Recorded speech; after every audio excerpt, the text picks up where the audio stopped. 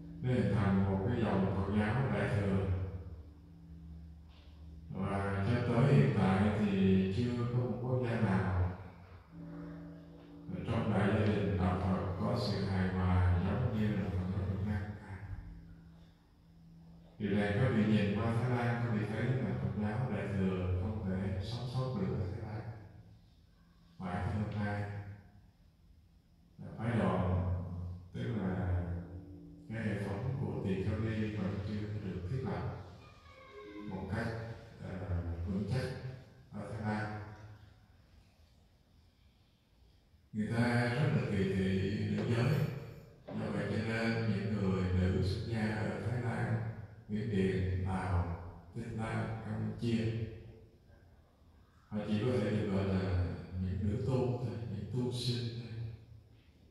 Và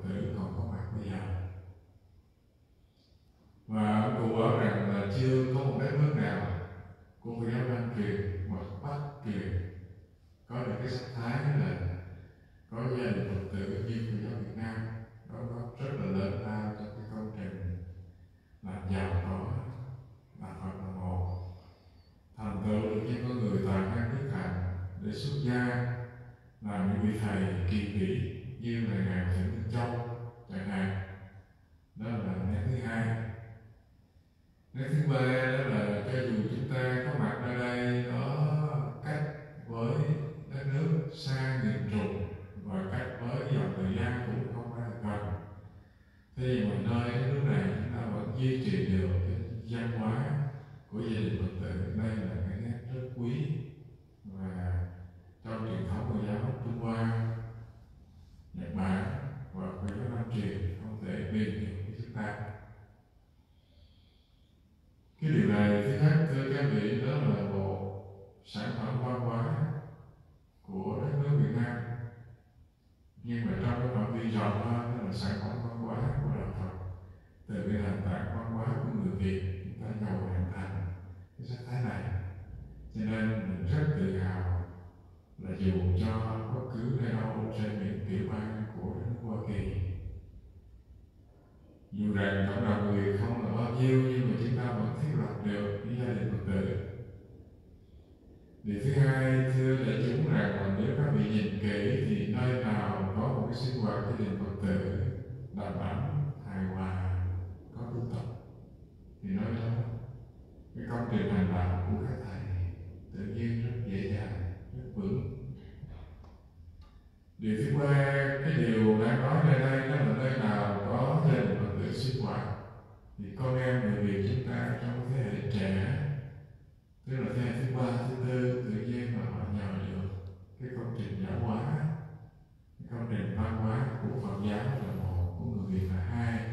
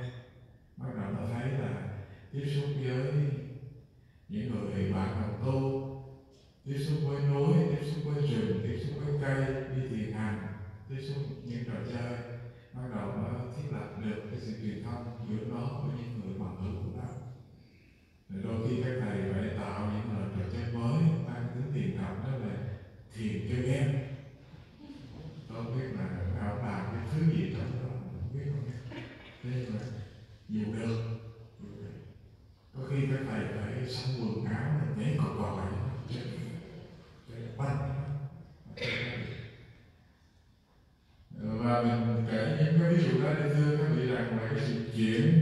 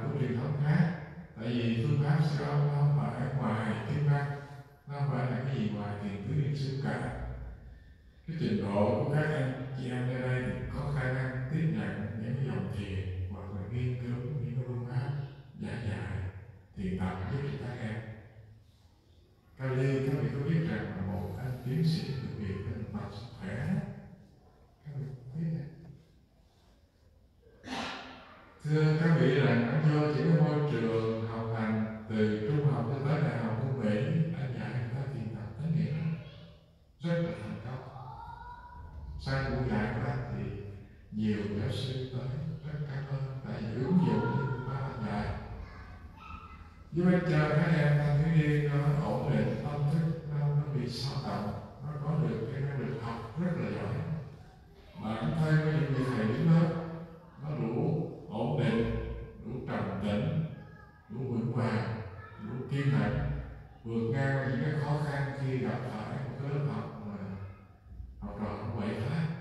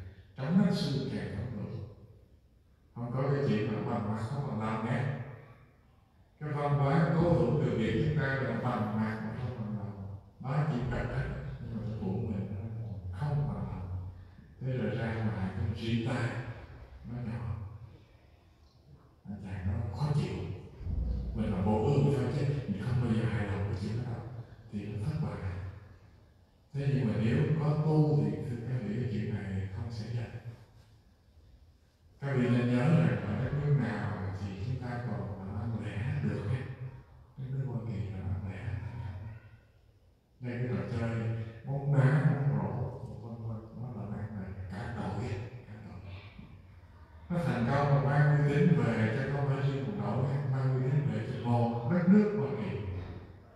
Sự thành công của những gia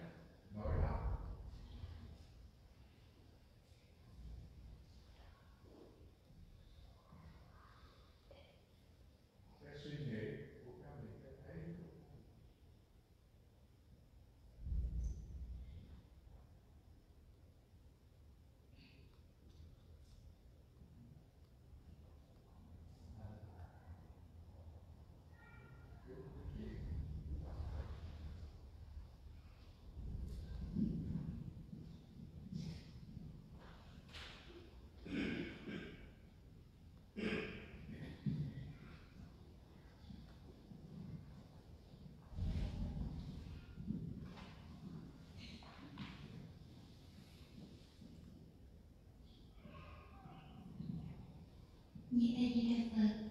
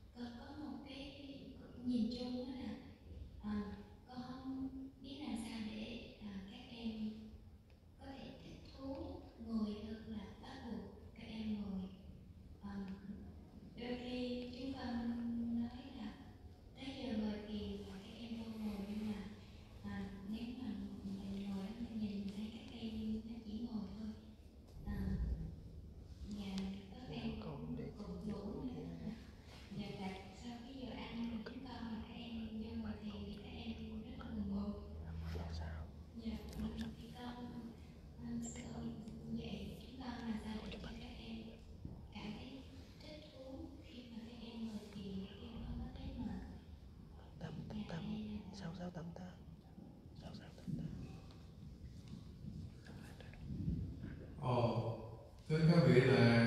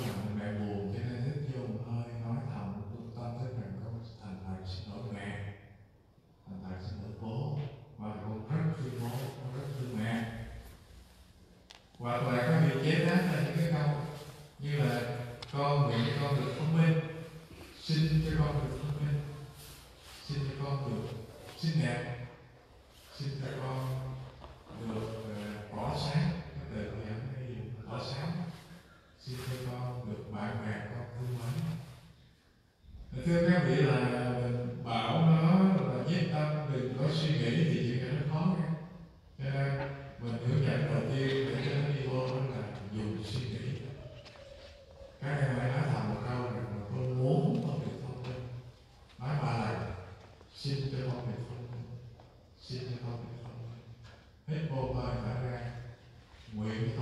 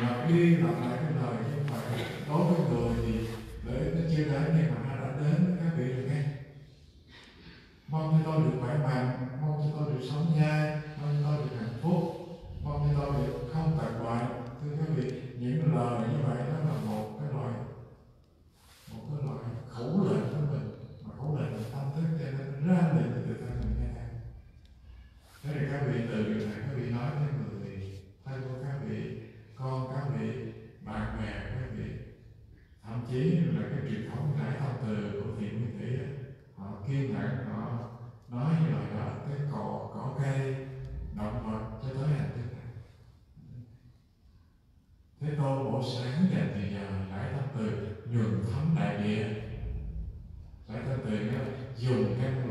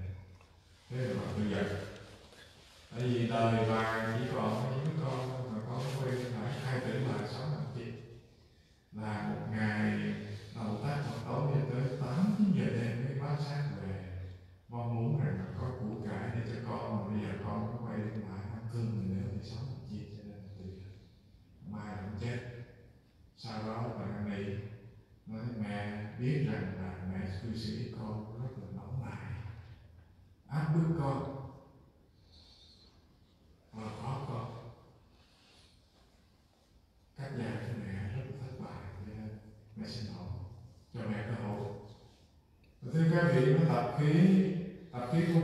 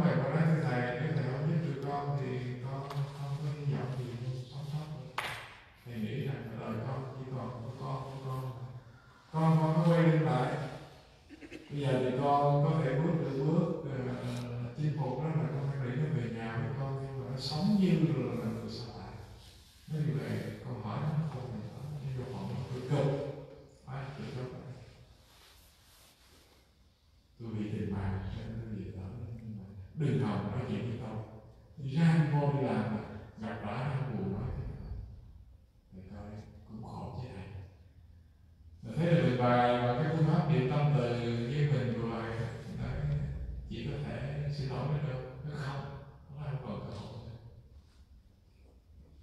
Mình thôi cả khi họ còn chỉ mỗi tối dành vài phút. Đầu tiên mình ngồi thiền, lắng tâm cái tâm mình yên. Tâm mình có định lực. Rồi chỉ hình dung rằng cái năng lượng thứ tư của chị ấy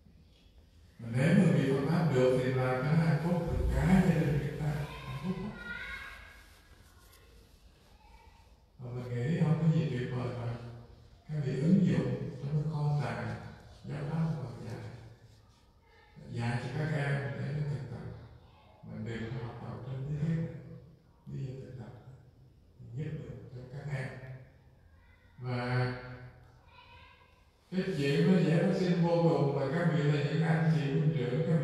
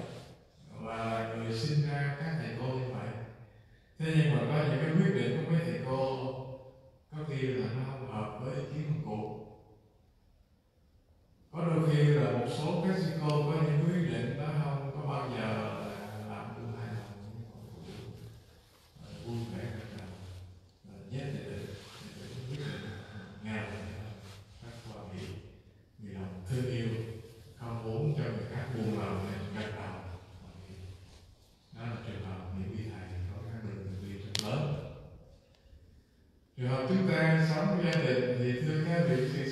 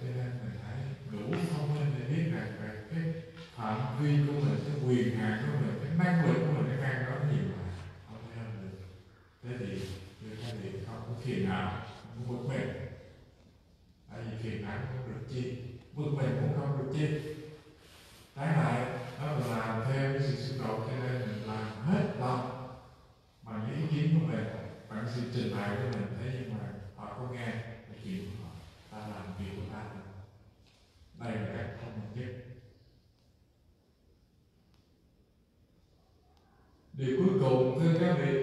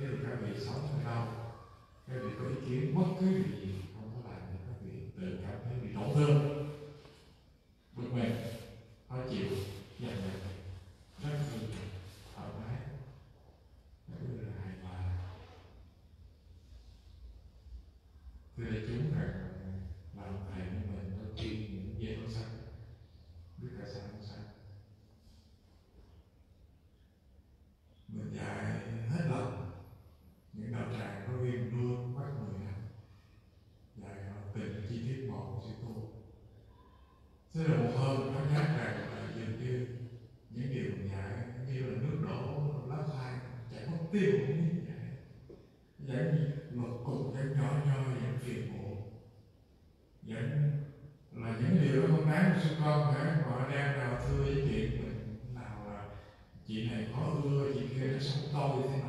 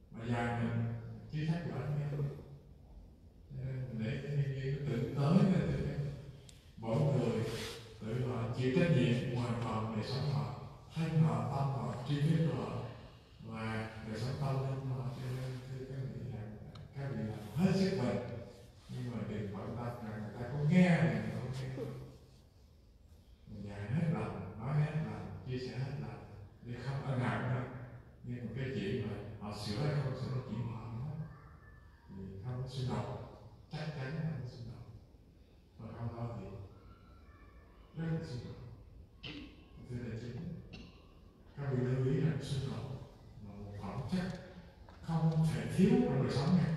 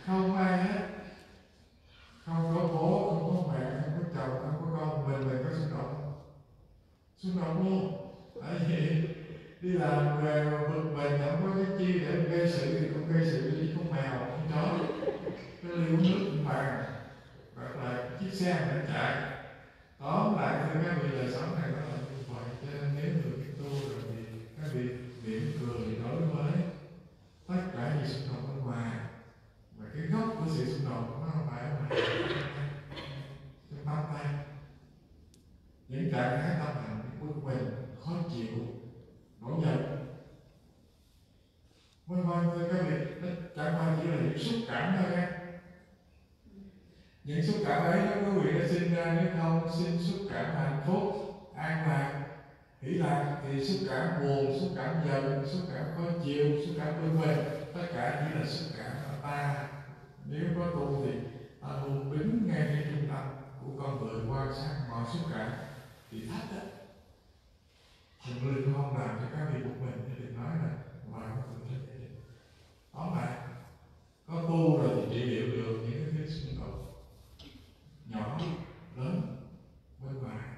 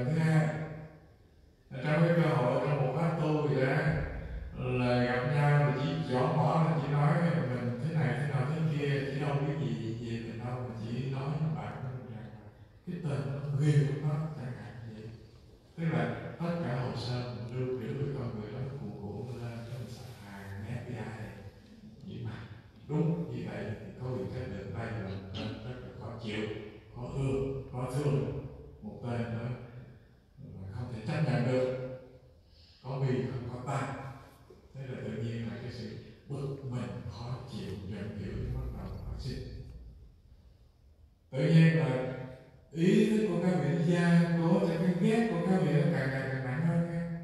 Thế là lần sau gặp nữa thì cái ghét này nó không giảm, nó lại tăng lên cái hồn thế thì rõ ràng xúc cảm nó là trạng thái nhất thời, nhưng ý nghĩ nó làm thành cái nền tảng cho cái trạng thái này thêm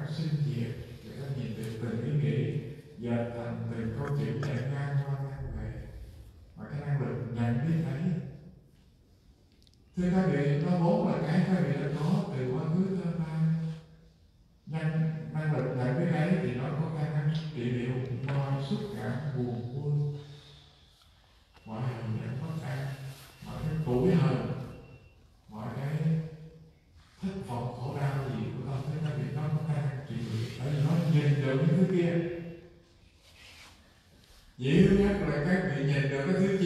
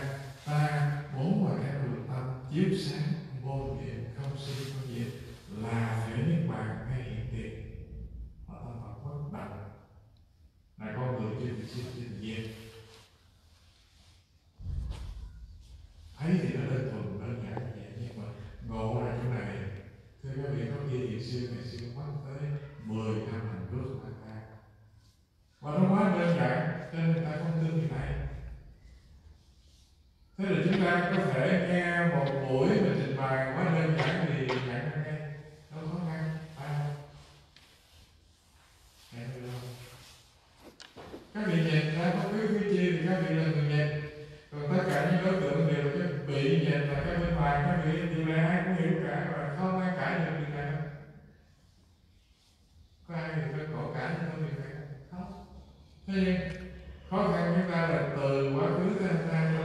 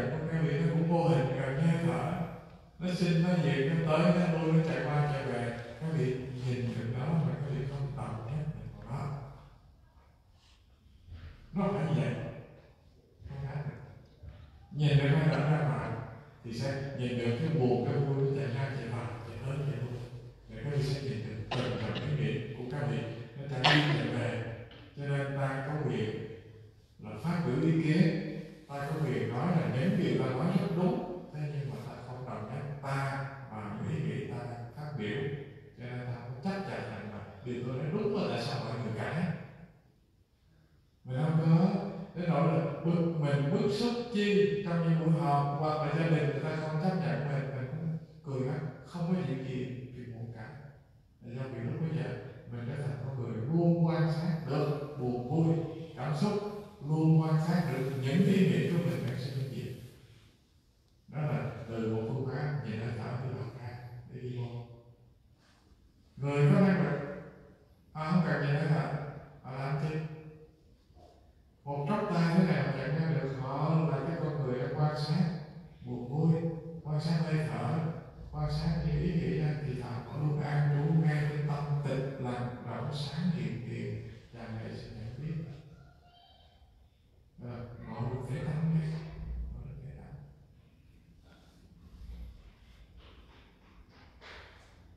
Rồi điều thứ hai một phương pháp hành trì để thưa các vị lúc bình thường thế này các vị mà thử thực tập là một điều mà mình nghĩ rằng phương pháp này dễ hơn cái việc phải tại vì niệm cứ niệm xứ đi bo, các vị biết rằng là ngay cái niệm thanh thôi nó tới bốn năm lần niệm hơi thở. Niệm bốn nguyên nhiên niệm thanh hành niệm gì đó bất tỉnh nghe quá bất tỉnh mình nói là niệm thanh hành thôi. Các vị hiểu rằng là thân của các vị các vị dùng năng lực tâm các vị luôn rọi sáng thân của các vị các vị cầu các vị đứng các vị đi các vị nói các vị cười nghiêng đầu nheo mắt miếng mày co tay giữ tay cúi gặt chi vân vân luôn nhận biết luôn luôn dùng cái năng lượng tâm là đang chiếu sáng dính liền với thầy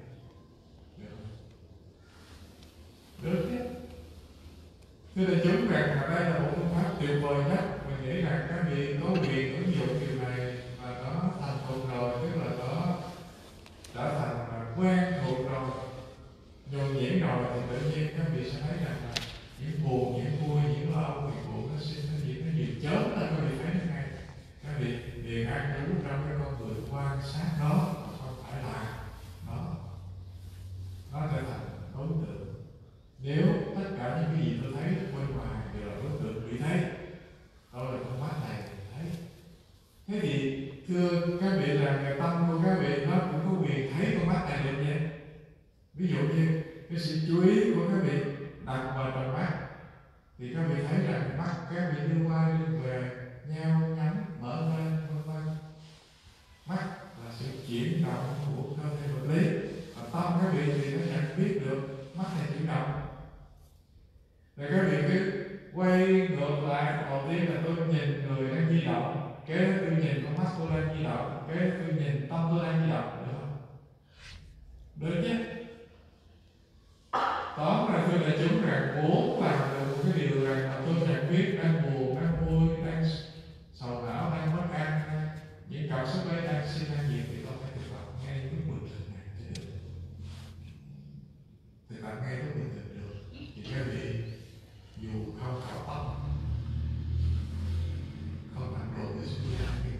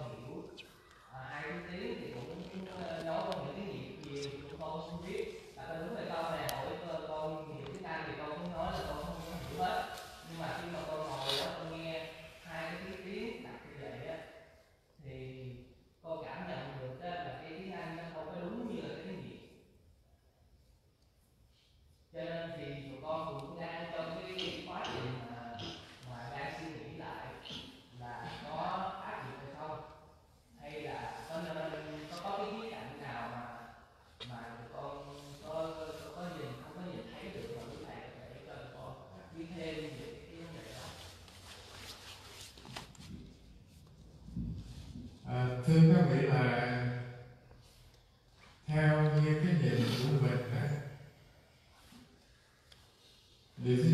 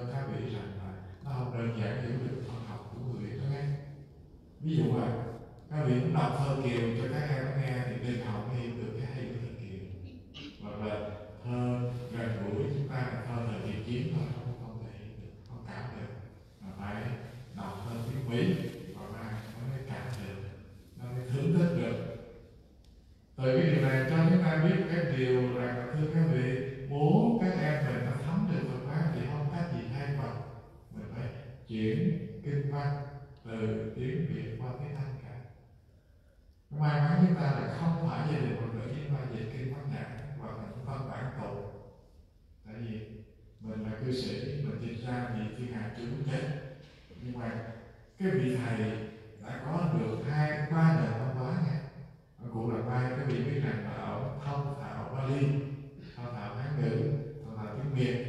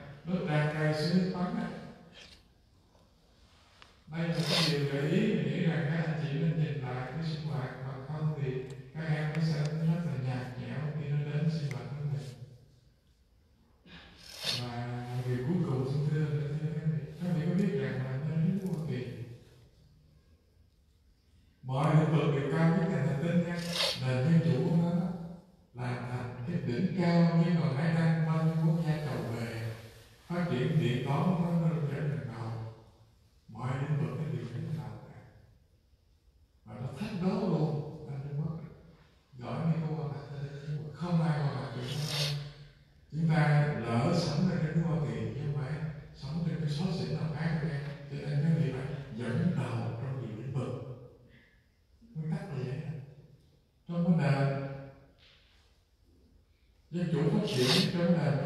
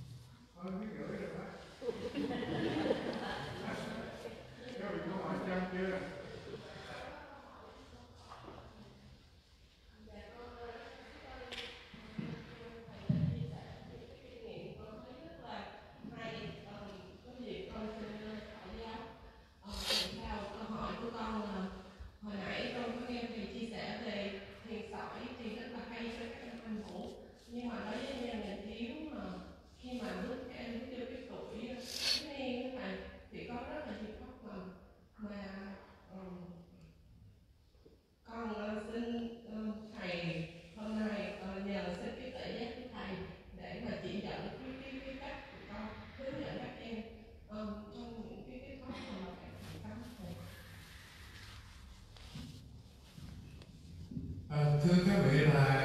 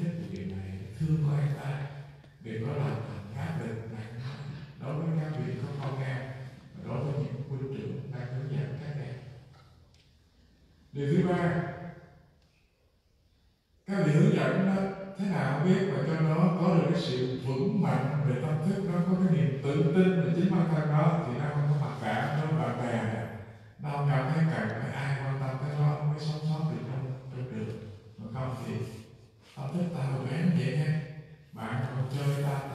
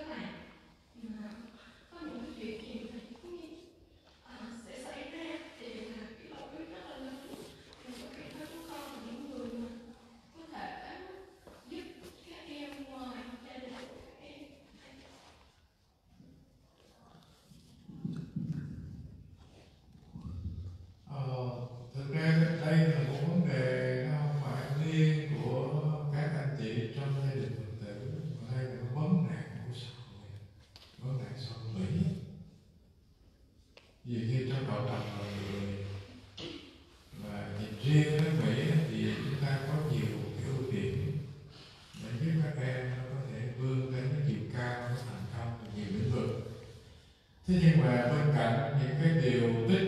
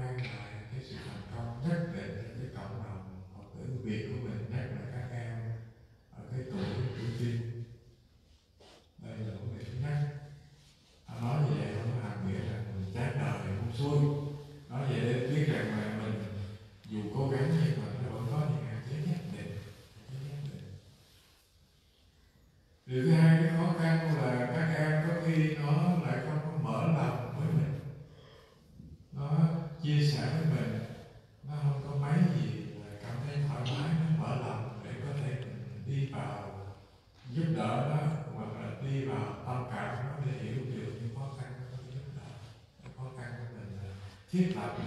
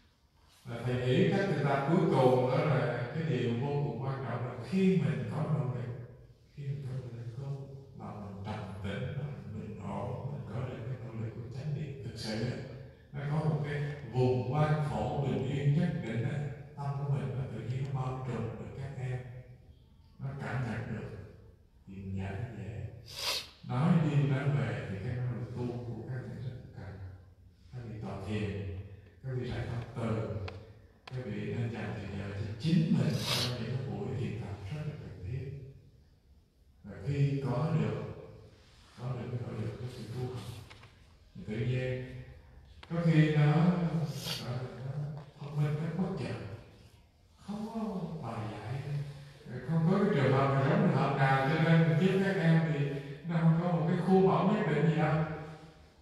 Theo cái nhìn của thầy là vậy. Điều này mình lấy kinh nghiệm từ thân mình nghe các vị biết rằng mình học phật cũng lương cơm nếu mình có học ra cái mai gì cho nó đáng thế thì gặp những cái trường hợp như là ngồi chơi với anh chị này, mình cũng đâu biết rằng các vị hỏi mình nó câu gì. Thằng này có cái gì tính ban đầu là coi chuyện hôm nay các anh chị mình cái gì để mình trả lời, không biết. Cứ ngồi bình yên đó rồi cái gì nó đựng cho mình rồi cứ ờ, phật thương thì cho con thông minh trả lời thì được, mà không thương thì con không thông minh trả lời thôi. Cứ đem cái tâm đó là lặng ngang bình yên, thanh tịnh đó rồi, đem hết cái tấm lòng của mình đó, các vị sẽ chia sẻ. Tại nó không đâu cả chứ còn không có chuẩn bị trước. Cái sự bình ổn đó là tạo thành sự thông minh thầy không thông minh chi nhưng mà tự nhiên rồi thấy rằng người lo không được chứ. Đâu biết các người phải gì đâu mà. Thôi thì cứ bình yên còn cười cười là phải chị ta lời đấy trả lời chút cũng được là cũng được đấy không cho nên, thưa quý vị, có tu tập có động lực hay là tự nhiên. Có được cái sự đáp ứng với những nhu cầu từng ngày một. Rất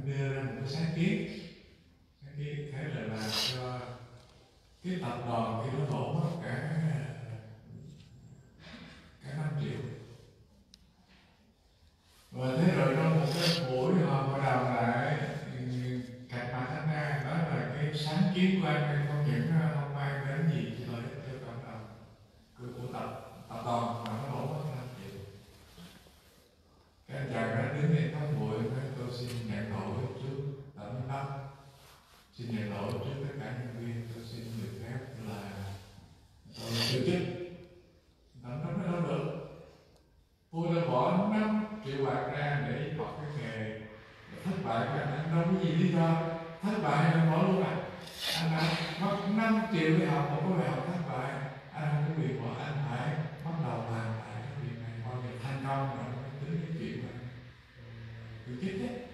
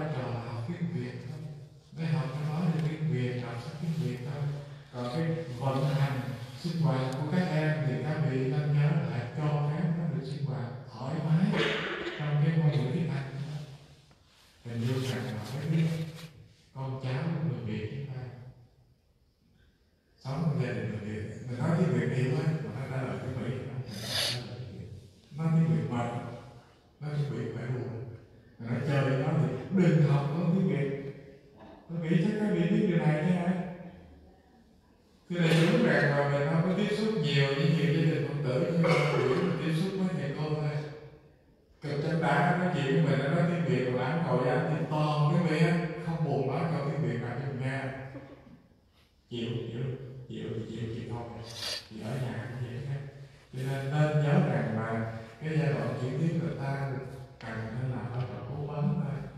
Và nên phụ trách những bộ môn như vậy tiếng việt, giúp cho các em nó đọc văn hóa thiện yêu tiếng việt. Nhưng mà cái sinh hoạt truyền đạt Phật pháp bắt bắt các vị biết rằng cái tiếng mỹ chúng ta bây giờ sao các em nó lỗi thời các em. Tiếng mỹ không được, đó thì để nó ta xin lỗi nó ta muốn dạy được nó thì các vị phải có cái ngôn ngữ học được với nó ngang tầm tuổi nó dạy được. Chứ còn những ngôn ngữ lần từ điển ra, học tiếng mỹ gì chúng ta dạy thì đừng có học, nó có tiếp thu.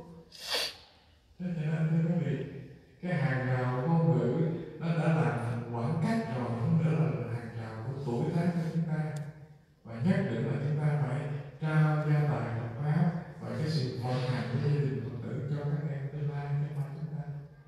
Bởi vì các anh chị đó là cái cảnh nói thôi nói đường thôi Hai em mà các vị đào tạo hôm nay nó sẽ bảo đạo nó sẽ chăm sóc, nó sẽ nuôi dưỡng nó sẽ hướng dẫn lại cho thế hệ con em của ta.